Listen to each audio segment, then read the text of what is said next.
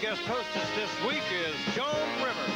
This is Doc Severinsen along with Tommy Newsom and the NBC Orchestra inviting you to join Joan and her guest, Charles Nelson Reilly, the Weather Girls, Catherine Oxenberg, and Wrestling's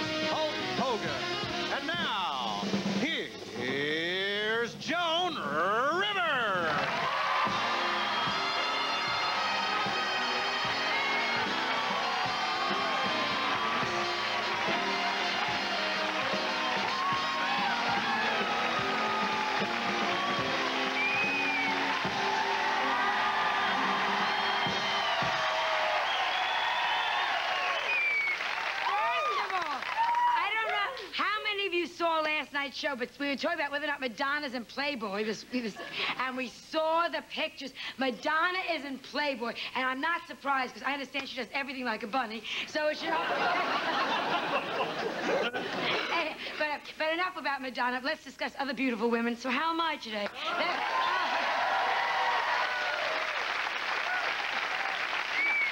Do I look all right? Tell me the truth, because this morning my tidy balls, this morning my tidy bowl man saw me and said, "You look flushed." And it got me you know why? Because it's California and the weather here is the worst it's been in 10 years. Uh, how many of you are out of towners? I swear to you, it is not this hot in June or July usually. I mean, it's crazy. Don't you think it's where are you from?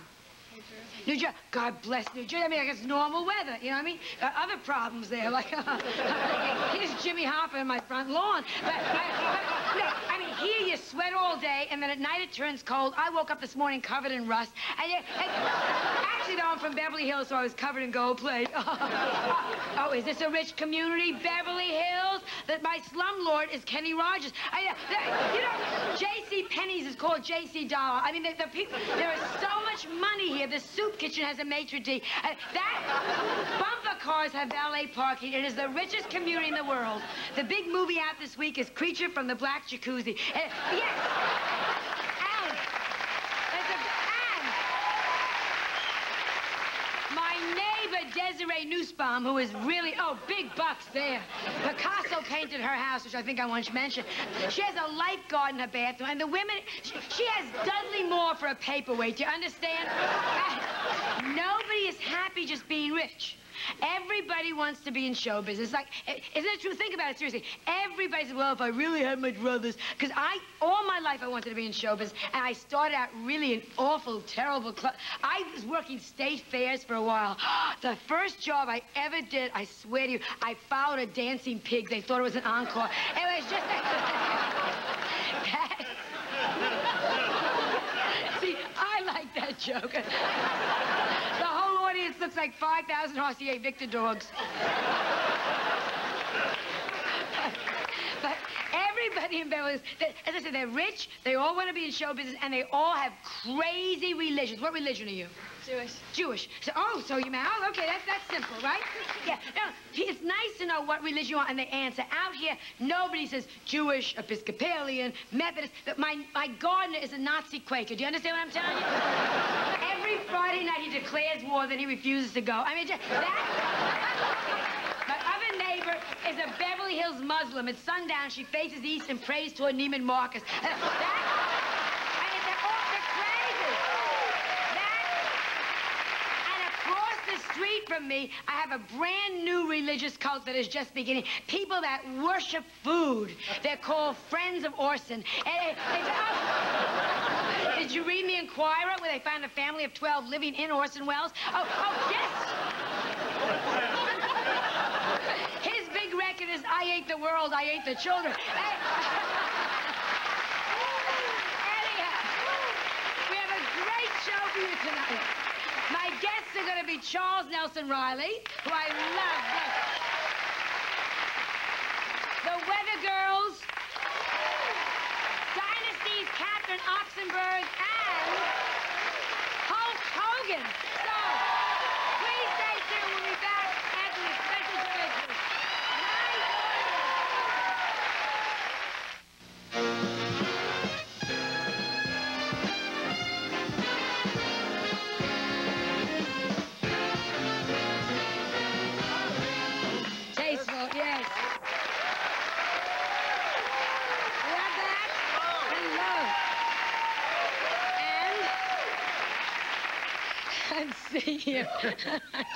Here we are after our crazy night last night. yes, drive, flying back and forth to Las oh, Vegas, and we do it again tonight. And two great shows. Yeah, Oh, great shows, great. Fantastic. And Garry Shandling now, who was married, is getting an annulment. That's over fast. I guess I understand he couldn't perform, huh? On his honeymoon, yeah. That's that's the way it goes. Well, it's a sad story, but true.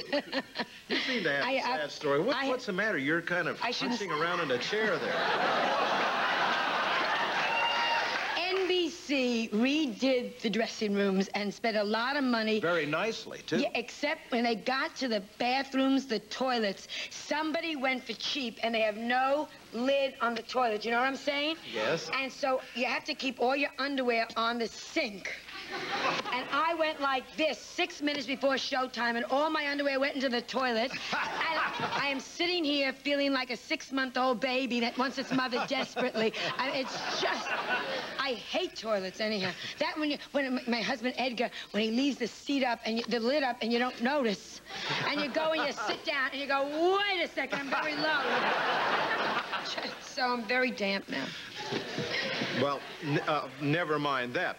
How about the shirt? I The mean, shirt this, is dry. This is another thing, but Yes. that is a beautiful Thank you. thing. Thank you. I That mean, didn't really. fall in. Thank you. But it's You know, that looks like a stop sign on Fire Island. I a stop sign on Fire Island. Yes. Thank you. very- I like, I like when we match, which is nice. Do, do our plugs while we're talking. Yes, uh, after Joan is through in uh, Las Vegas, uh, two weeks at Las Vegas there at the uh, beautiful Caesar's Palace with Garry Shandling and uh, Doc Severinsen. August 17th at the Circle Star Theater in San Carlos, California. Then August the 20th in Detroit, Michigan at the beautiful Pine Knob Theater. And then August 22nd and 23rd at Oakdale Music Theater in Oakdale, Connecticut. That's a good Beautiful summer. thing. A good summer. Absolutely. Yeah, should we do a commercial then we can bring out our first guest? I can't wait to hear them sing. Good. And we can let your underwear dry out a little more, Yes, too. we can let my underwear dry out. now, pronounce it correctly with me. Reuniti. That's what I want to make sure, because you speak better than I do when it comes to Italian. It is now Riuniti. Reunit. Oh, I've got it. Riuniti ice a pair time. Riuniti on ice. So nice. We.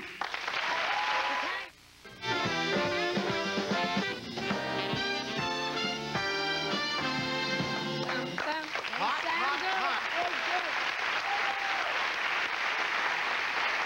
My first guest tonight, I had the pleasure of working with them at a benefit in New York City for AIDS. They're going to be appearing with me at Atlantic, C- uh, Atlantic City at Caesars July 30th to August 1st, and then at the Melody Tent in Hyannisport on August 8th. They had a huge record out a year ago called It's Raining Men. They have a new record out called Big Girls Don't Cry. Will you please welcome the Weather Girls?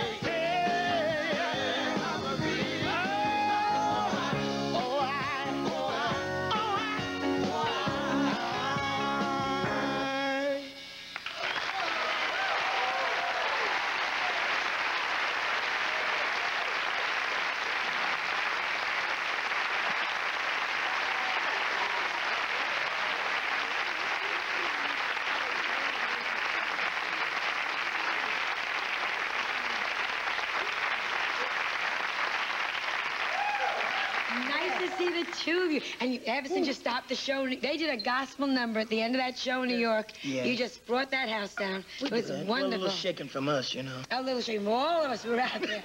now, are you two related? No, way. No. So how'd you get together? First of all, names. Which is which? I'm Martha Wash. I'm Izora Armstead. Okay, so how'd you get together? A young man out there put us together, which is now one of our managers named Douglas Kibble. And we, what were you We doing before? singing gospel Right. with him.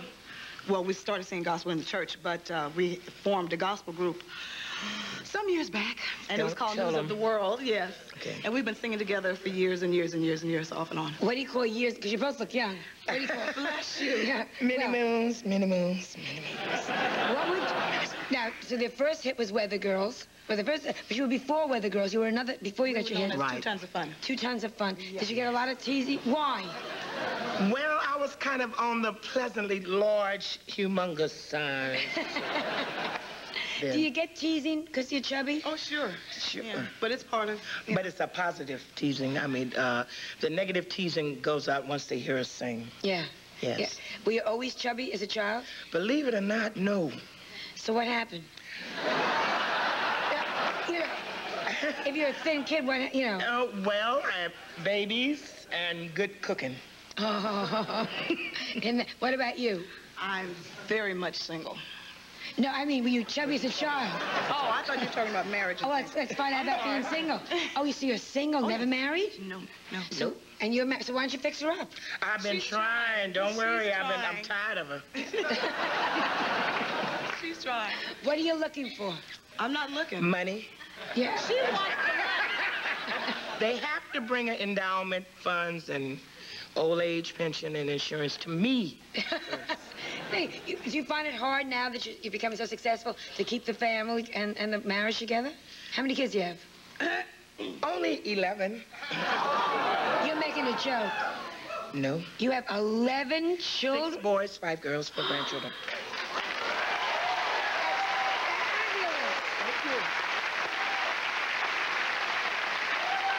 Did you have them one by one or a litter? I mean, that's a lot. I know it felt like it, but one by one, Um, mine. Yeah. 11 years you didn't see your toes. Have you ever thought about that? You're right. You're right. You're right. That's great. That's just great. Well, uh, what if, I can't wait till we work together. Isn't there so many, I know you have to leave. They're saying they have to go, they have to go, they have to go. Will you come back again here We and we'll see you guys together in Atlantic City? Yes, It's going to be for sure. It's going to be fun. Yeah, we'll Right. get you fixed up, don't you? Okay. Okay. And you, you don't get fixed up. We'll be right back after this commercial message of interest, so stay tuned. What a pleasure to see you.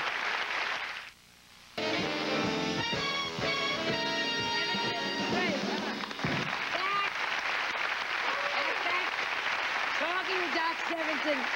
What nice ladies they were. They're yeah. very talented. Very tough. Yeah, and boy, 11 kids. I wish I'd had more than one, I'll tell you that. Maybe not 11, but more than one. My next guest has a video cassette, two TV shows that will be airing in the fall. He is, I think, the primary cause now for something, all this Hulkamania that is all over the country now, which you can see in this clip coming right up here.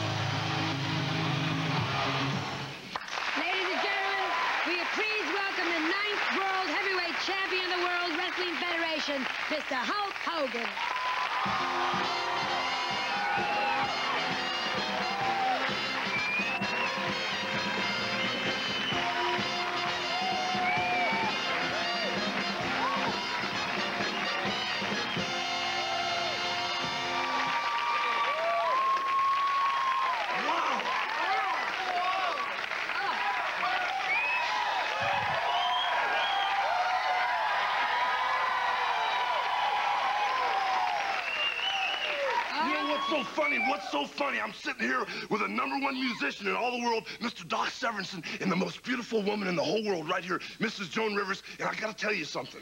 The way I'm dressed right now, you know, I've been traveling all around the country, but whenever I come to Los Angeles, California, I got this big problem, you know. Whether it's wrestling, making personal appearances, everybody knows I'm the heavyweight champion in the world. But right here at NBC, there's a real heavy-duty dude, a man named Brandon Tartikoff, you know. And every time I come here, Doc, the guy runs around with these multi-million dollar contracts for records, for movies, for television appearances, and I really appreciate it because he's one of my best friends. But I gotta tell you, Brandon, back off just a little bit because I got something on my mind. I got two or three more people in Madison Square Garden I gotta bust up. Now that that's out of the way, I wanna say one thing while I'm here. One thing. Nobody's You- going to stop you, You believe know, me. you know, you know, this is my Hulk Hogan Hollywood camouflage right here so I can sneak by Brandon Tartikoff. But the real reason I'm here is to tell all those Hulkamaniacs out there at 11.30, midnight, 1 o'clock in the morning to train, say your prayers, and eat your vitamins. But the real, real reason I'm here is I've got something for this lady right here. What you got, Hulk? I got the Joneses for you, baby.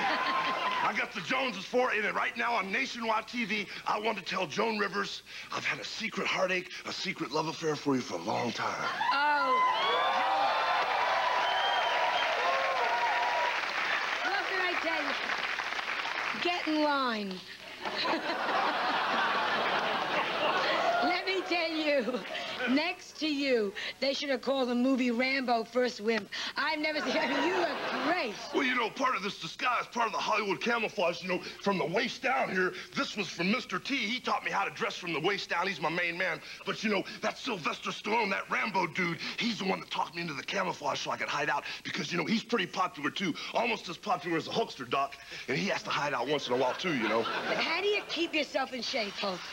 Well, the thing is, you know, when you're a champion, you know, you dedicate yourself to something. Just like this is your job, you know, you live this thing day and night. And uh, as far as professional wrestling goes, you know, I don't punch no time clock. The only thing I have to do is answer to myself. And I live this thing day and night. Blood, sweat, and tears is the way I live this thing. And the people get off on that. They believe in it. That's why the Hulkster's the number one at what he does, pinning people right in the center of the ring. Now, but do you work out? Do you get up in the morning, like lift your wife a couple of times? Know, I, you know. Well, you know, What I do don't, you do? I work out at different times. Sometimes at midnight when I leave here, I'm going to train because I took valuable time out. I should be hanging and banging with the 24-inch pythons working out. But I came down here for a couple reasons, and the main reason was you. But I do work out day and night. It's my job. Yeah, but so what do you eat? Like, give us, give us a typical happy Hulk day.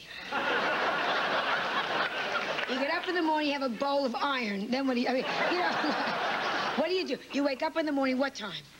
Well, you know, the thing is, my schedule's so crazy, I sleep whenever I can. I'm not out on, an- on an airplane. I was just sleeping in the green room back there until I heard that you came out here. Yeah. And I had to watch the TV. But the thing is, you know, I eat anything I can get my hands on because I'm not a bodybuilder. I'm not uh, in the competition. I want to be big, rough, and tough. I want to be the biggest. I want to be so big that my peers, you know, even the other wrestlers are afraid of me. I want to be so big, man, that they have to stick me in a steel cage. And I might just even scare the wrestler off, and then I get my hand raised without doing nothing. When, when did, when did you get this dream? When did you want like this this American dream that you want to be the biggest? Did you always want to be a wrestler when time you were a kid? Well, the thing, ever since I was a little teeny Hulkster, you know, my daddy used to take me to the wrestling matches, man. Used to take me there, and I'd watch these guys one-on-one confrontation, the ultimate physical confrontation. No helmets, no shoulder pads, no croquet, no tennis rackets, none of that gaga, man. They were button heads, locking up with the big guns. And when I saw that, I was turned on, you know, and I dedicated my life to training. And one day I said I was going to be the World Wrestling Federation heavyweight champion, and that's exactly what happened, you know. If you want to be somebody like my main man, Mr. T, says, you can do it if you want it that bad, but you got to put your blood, sweat, and tears into it and believe in it. Yeah, yeah. I, but You know, you could be a champion too. Sure.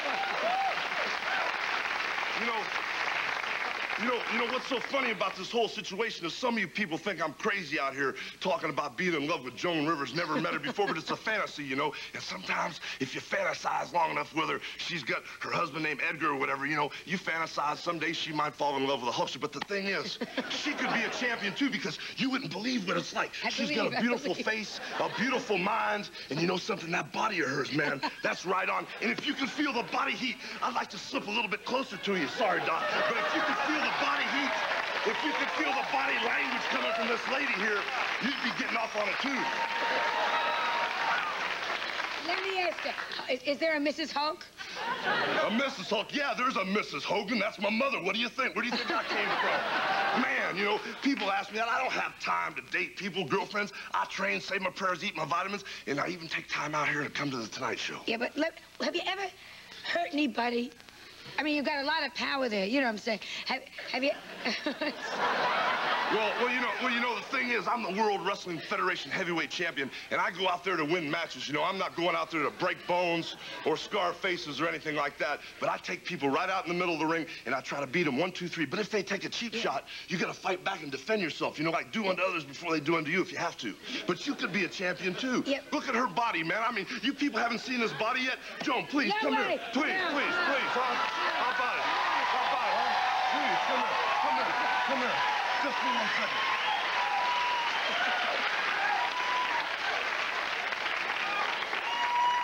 You know, like I told you before, the lady is beautiful in every old. way. Oh. I'm brittle. I You know, the first time, the first time this lady and myself lock up, if we ever do, it's going to be love at first bite. You know? But what I want to tell you right now, what I want to tell you right now is, you know,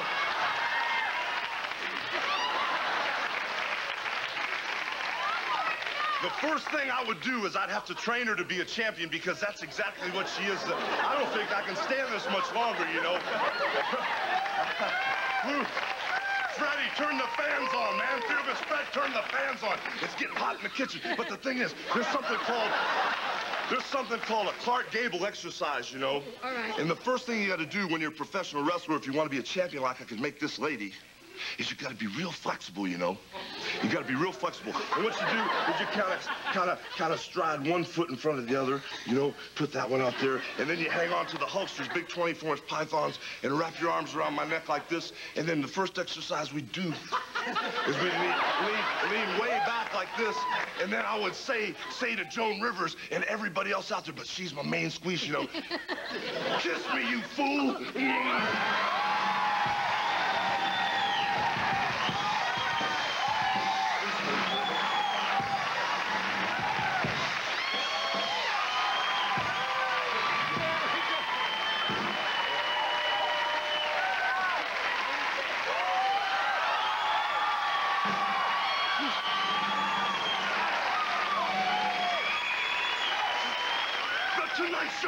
Show will return after this message of interest.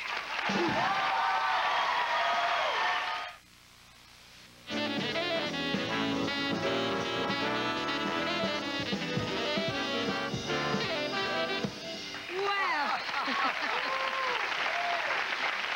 Eat your heart out, Cyndi Lauper. He's fabulous. Yeah, you turned the Hulk on. I, I felt like Fay Wray and King Kong, I'll tell you. My next guest is also quite a Hulk. Quite a Hulk in his own way. He's a...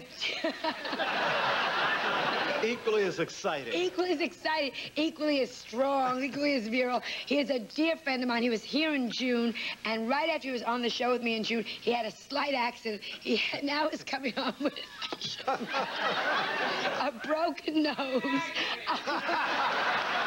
A broken nose, a broken arm, and a broken hip. It's just terrible, but it is funny. Mr. Mr. Charles Nelson Reilly.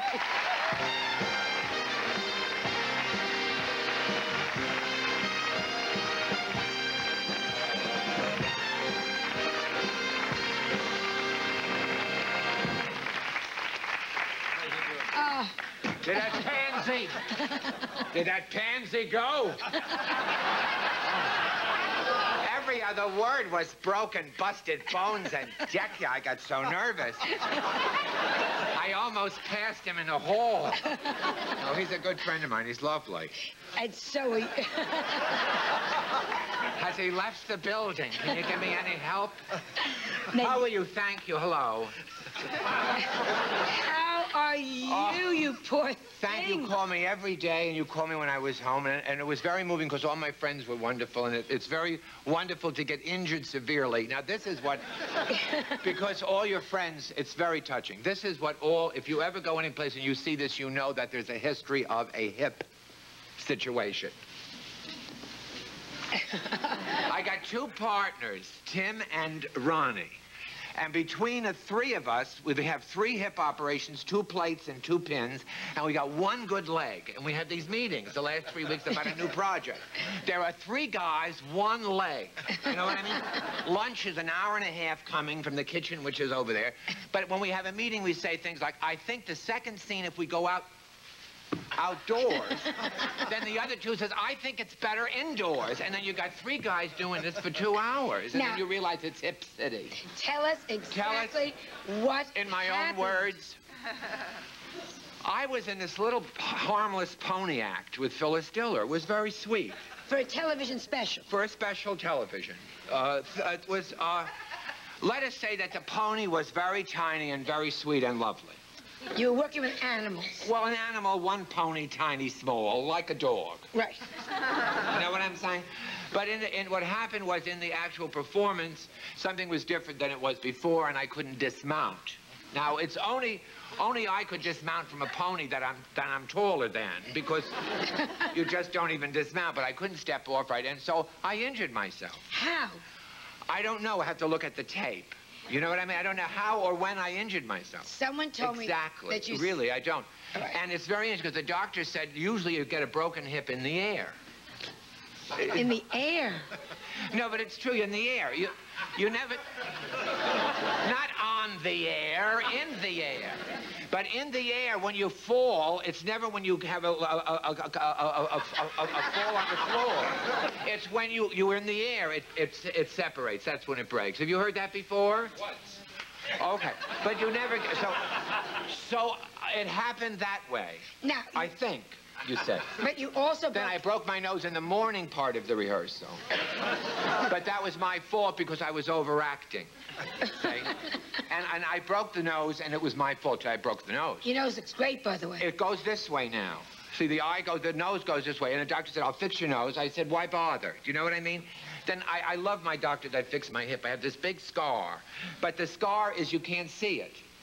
Because he sewed it from inside, and he keeps looking at it like my beautiful scar. He said, Doctor, I am not a bikini model. It doesn't matter. A scar would be nice. You know make what you I'm look saying? rugged. Well, it would, I would be more hulkish, hulkifying. but the thing is, you know, I'm not a bikini model. I'm not gonna, you know. Now, did you know No, I- right away? No, you don't know anything. So what happened was I broke the nose, and I'm laying on the in the emergency uh, in the emergency ward. You're coughing during my interview? the end of a star. No, so anyway, no, that's when they start reading on the side. No. My flowers I never got from this company. I don't want to bring that up now. But anyway, not even a bottle. Nothing came. Nothing came. NBC. 22 years I walked, may I say, walked on here. I couldn't walk on tonight. But anyway, so I'm just kidding. So, where was I? That they didn't send you flowers. No, that's okay. So you, you broke your nose in the morning. I broke good. I broke the nose in the morning, in the morning part of rehearsal. and I'm laying in Las Vegas in the emergency ward, and this very nice Dr. Taylor, I think that was his name, is sewing up my nose because I had to have because because because I'm on the screen and it I shouldn't have you know it should be sewed so there wouldn't be a scar. Don't be worried.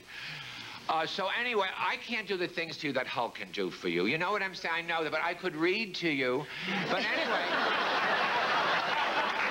but anyway. But anyway, the doctor's sewing up the nose, and I'm going, what's happening? You know what I mean? I should have said, my mother would say, you should have stayed home where you belong. So then they're calling from the, from the, from the place where the show is, can you come at, by 3 o'clock? And I'm going,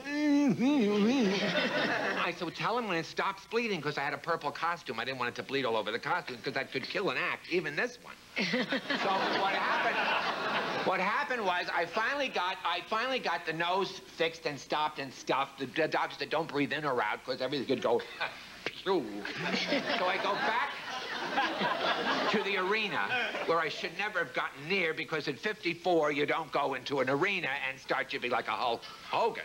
You know what I'm saying? Tell me.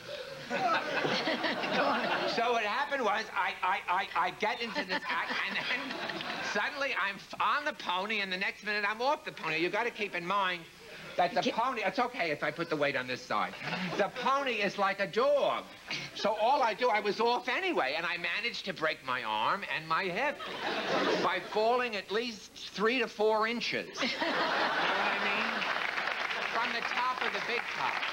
No, but it's true. And then I thought, do I have a second? Because I got to tie it up. I'll tie it up. I'm well enough to tie it up.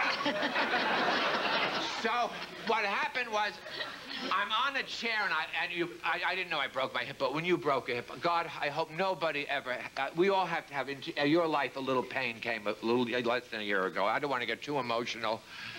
Flowers will be there in the morning. but whatever happens, whatever happens, be careful because it's dangerous. You don't know when.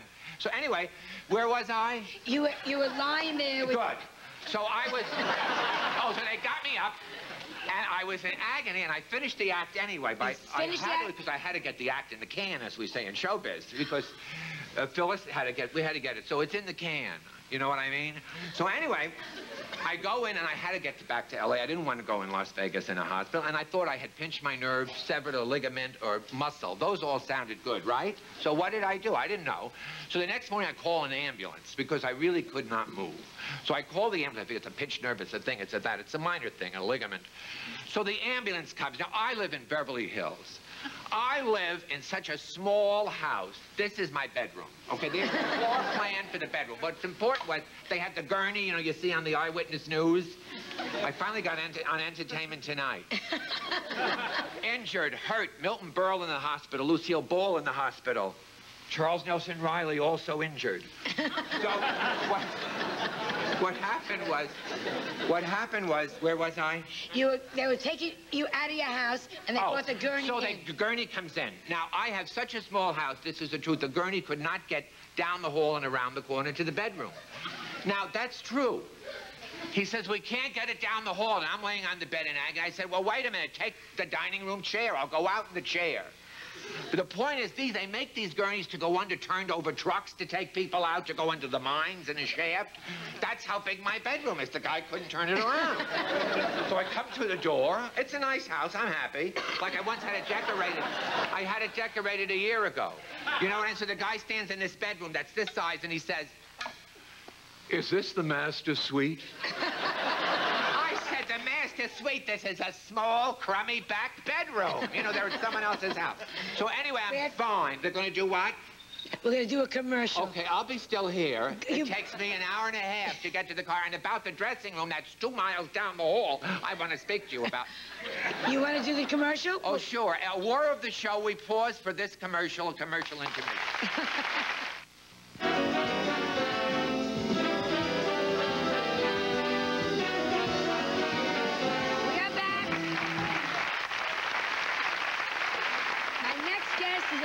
beautiful and very talented young actress that we see every Wednesday night in Dynasty. Will you please help me welcome Miss Catherine Oxenberg?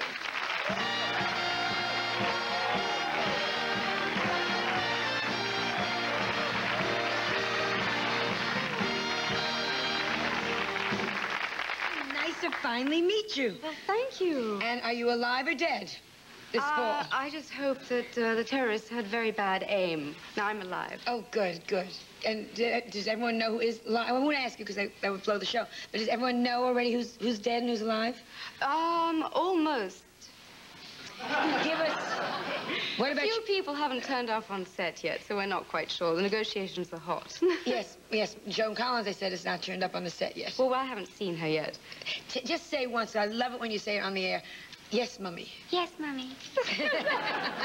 Do you say that to you? Anything else? Do you, no, no, no. Do you say that to your own? Are you a princess? Because they say you're a real princess. Well, tell me, does Oxenberg sound very regal to you? no, but no, this Holstein. You know what I'm saying? It's, it, are you? I'm uh, the closest I get is probably as close as you do. I'm I'm as close as a, a Jap is as close as I get to being a princess. But your mother is a princess. My mother's a princess. Now, what happened? How did your mother get to be a princess and you're not like a princess-et? I'd like to be a princess as much as a starlet, thank you very much. Uh, because uh, she married my father, and I take my father's name, and he was a, a Brooklyn boy. Your mother, a princess, married a Brooklyn boy? Why, absolutely. How did they meet?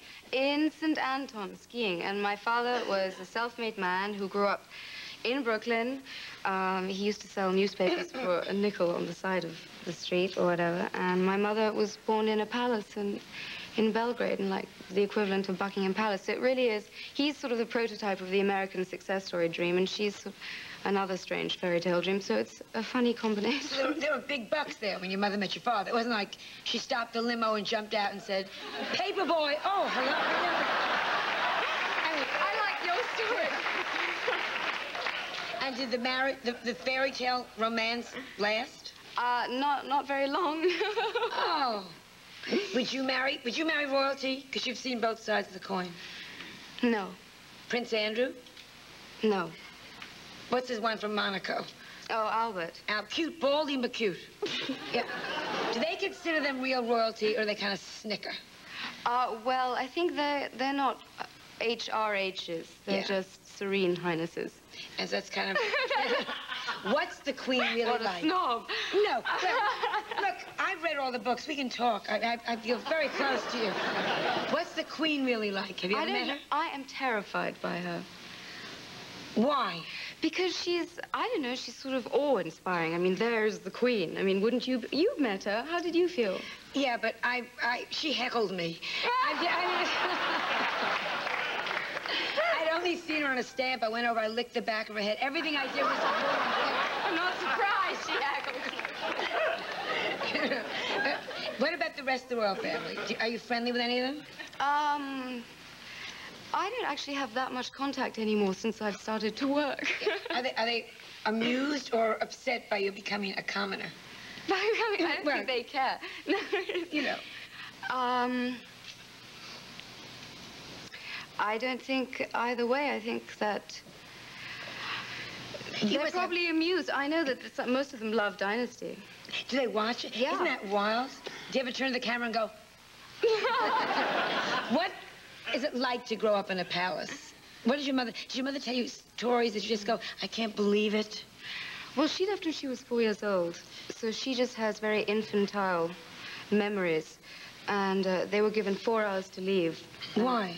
Because of the communist, because it was World War II and there was an invasion and the Nazis came in and they were given four hours to leave the country. What did they take? Uh, not enough. Do they grab, like, I wish. I mean, were they smart enough to run for the jewelry? I mean, you know, you got four hours. Quick, grab the crown. Okay.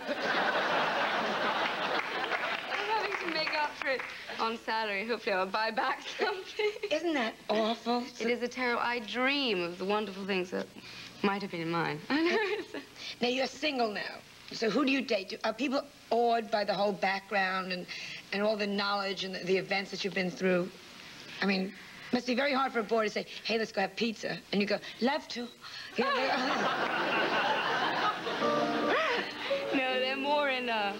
in awe of my terrible sense of humor.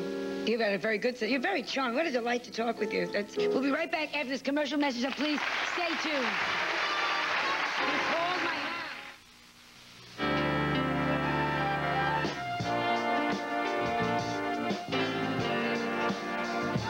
Oh, it's dynasty in England, right? Not dynasty. What do they call dysentery? what a lovely show. What, will you come back and spend a little more time? Because it went so quickly. I It'd be nice to talk to you a little bit more if we could. I want to thank the weather girls who have left to go off and do their work. I would like to thank Hulk Hogan, who I'm glad he left. Charming, but gets me very nervous. Okay. I want to thank Charles Nelson Reilly, who can't Thank you. leave. He I just gotta can't sit go there. anyway, and I got two hours to get my stuff And out of the palace. Catherine Oxenberg from Dynasty. Tomorrow night, my guests will be Roger Miller, Steve Guttenberg, John Byner, and King of Funk, Rick James. So please come back and watch us again tomorrow night. Thank you so much Joan Rivers Wardrobe, furnished by Oscar de la Renta. Coming up next, it's a nightcap of laughter on Late Night with David Letterman as David talks style with the inimitable Grace Jones. Then start your day with NBC News at sunrise.